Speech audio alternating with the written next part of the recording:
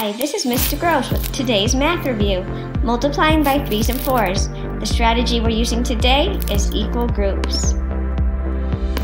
Let's try multiplying by 3s.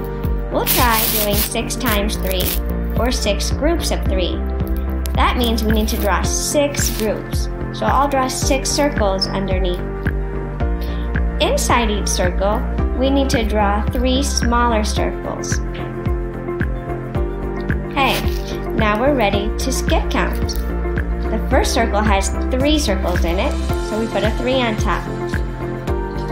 The next circle has another three. Three plus three is six, so we put a six on top. Another three makes nine, plus another three makes 12, plus another three makes 15, plus another three makes 18. Nice job!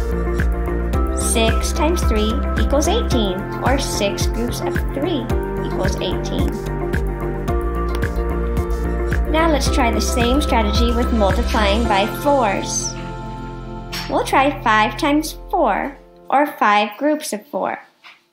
So underneath, the problem says to draw 5 groups. So we'll have 5 circles underneath. It also says we need 4 smaller circles in each big circle. So the first circle has 4, plus another 4 makes 8, plus another 4 makes 12, plus another 4 makes 16, plus another 4 makes 20. Nice job, we found our answer.